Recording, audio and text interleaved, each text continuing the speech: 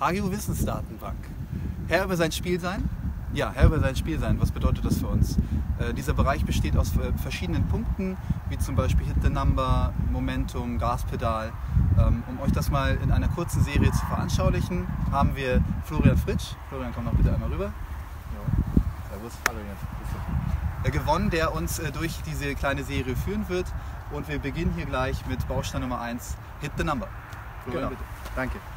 Ja, also hier sind wir an einem Paar 3. Ähm, wie man sehen kann, auch ein bisschen spektakuläres Paar 3. Wir haben Wasser vor dem Grün. Hinter dem Grün geht es bergauf. Das heißt, wenn ich lang bin, habe ich dann so einen ekligen Bergab-Chip. Und ähm, der Platz hier ist recht offen, das heißt, wir werden hier viel mit Wind zu tun haben. Und ich laufe jetzt einfach mal ein bisschen durch die Routine und zeige euch dann mal, wie das Loch aussieht. So sieht das Loch aus. Das ist ungefähr die Distanz, die wir mindestens brauchen. Das habe ich gemessen, das waren 140 Meter. Ähm, ich habe dann nochmal 10 Meter Platz und danach geht es schon auf die Rückseite des Grüns. Das heißt, hier bin ich eigentlich gezwungen, dass ich genau diese 14 treffen muss. So. Wie ich gerade erklärt habe, haben wir hier viel mit Wind zu tun.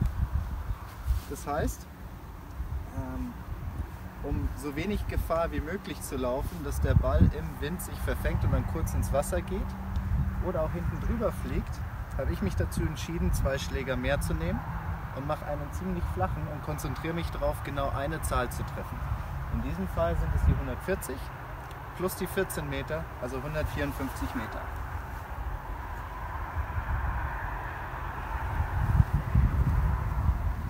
...154, das ist die Zahl.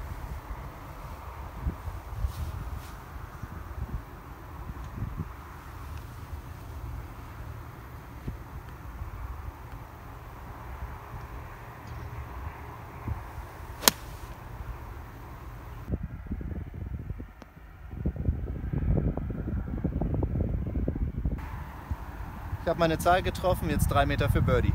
Los geht's.